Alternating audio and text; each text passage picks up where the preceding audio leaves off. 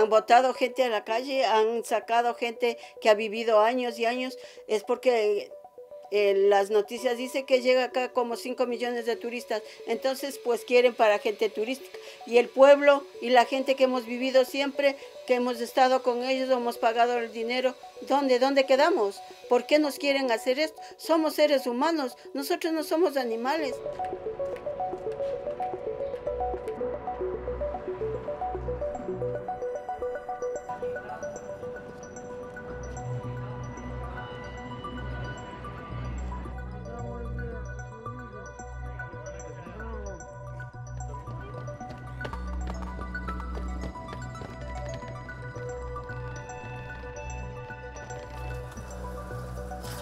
Es una cuestión especulativa ¿no? de coger la vivienda que se utilizaba antes para vivir y utilizarla pues, en lugar de para vivir pues, para, generar eh, lucro y para generar beneficio para, unos pocos que no sabemos ni quiénes son y, a la vez pues, está eh, desplazando a todos los vecinos que antes vivían en el barrio que ya con estos precios y con esta situación pues ya no pueden eh, permitirse encontrar una vivienda en este barrio. ¿no?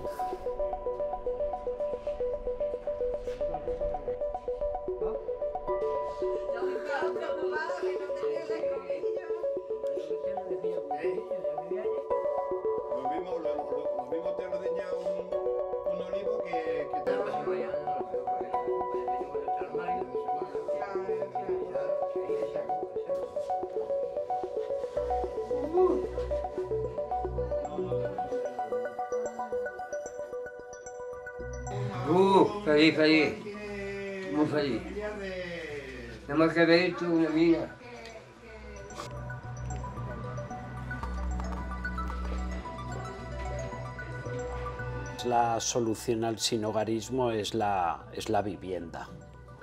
Indudablemente parece algo muy lógico y demás, pero con esto a lo que me estoy refiriendo que la solución no son los albergues, ni los centros masificados de personas, sino que realmente, si realmente queremos paliar el sinogarismo, tenemos que hablar de, de viviendas.